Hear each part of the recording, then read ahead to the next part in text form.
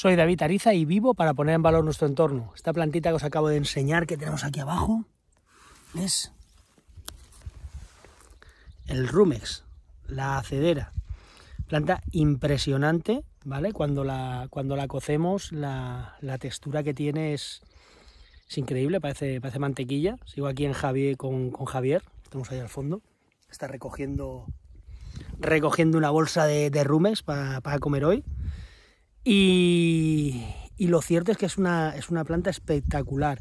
Acordaros que cuando hablamos de plantas silvestres, de lo que estamos hablando es de eh, aporte de, de nutrientes que no encontramos normalmente en nuestra dieta. No la encontramos porque al final nuestro consumo de hojas y de hierbas se ha reducido muchísimo a pues, cuatro o cinco tipos como mucho. Todas estas plantas silvestres nos van a ayudar a aportar nutrientes para nuestra microbiota. En este caso el rumex cocido se nos queda como, un paté, es brutal.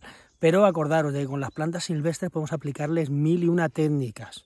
¿vale? Yo siempre pues, uso una, un, abanico de técnicas amplio, ¿vale? Pero que bueno, pues desde aceites, cremas, fermentados, encurtidos, o sea, podemos darle muchísimas, muchísimas posibilidades, deshidratados. Estamos aquí, mirar, ¿vale? Qué brutalidad de plantas que tenemos. Tenemos cardillos, tenemos eh, sonchus, tenemos eh, diplotaxis, por aquí detrás se ven algunos diplotaxis, tenemos eh, taraxacum, bueno, una barbaridad, barbaridad de plantas silvestres.